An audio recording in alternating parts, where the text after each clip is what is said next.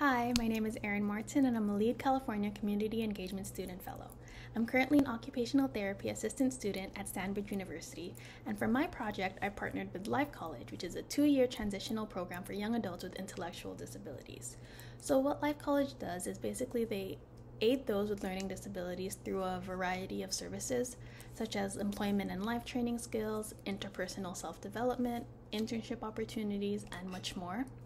And during my time at Life College, I was able to contribute to the efforts of their staff in teaching the clients important skills essential to reaching their ultimate goal of independence despite their disabilities. I was able to help the clients participate safely in a variety of activities.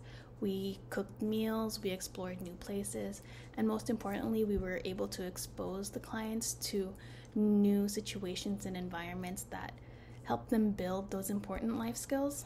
And I think one of the more important takeaways from this experience was my increased confidence. Um, I became more confident in my own ability to make a difference in the lives of others, um, both as an aspiring healthcare professional and as a general community member.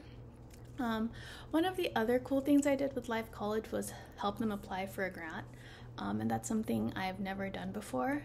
Uh, this population is actually one that I can't say I've been exposed to much, and through this experience, I was not only able to improve on my leadership skills and my ability to be more adaptable in situations that can be kind of unexpected, um, but I also learned the importance behind taking risks and trying new things, which are things that I'm very grateful to have learned. Um, I feel like if I let my fear of working in an unfamiliar setting stop me from participating in this project, I wouldn't have made all these new friends and memories. So I'm very grateful.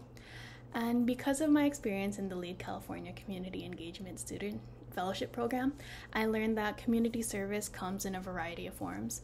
Uh, usually, when people think of community service, it doesn't sound very appealing. Uh, but with Life College, uh, I was able to help people in my community while gaining experience in my field of interest at the same time.